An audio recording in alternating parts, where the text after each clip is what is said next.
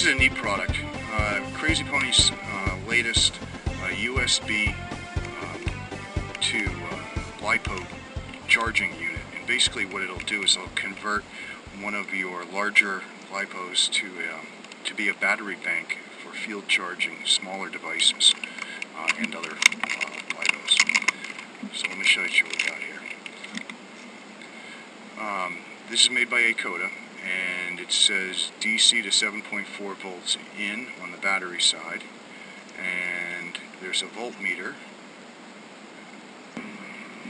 Okay so this is uh, an AOKoda XT60 to USB 3.0 LiPo battery discharger with a, that voltmeter in it.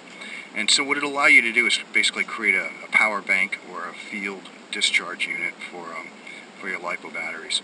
Um, you can see here it's got the XT60 connector for the battery in and a USB 5 volt out so that you can charge your typical uh, devices.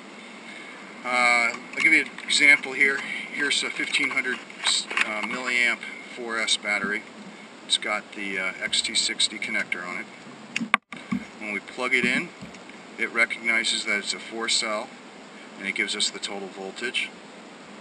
And then we've got that uh, as an output device for your power bank. So uh, I hope you understand how to use that.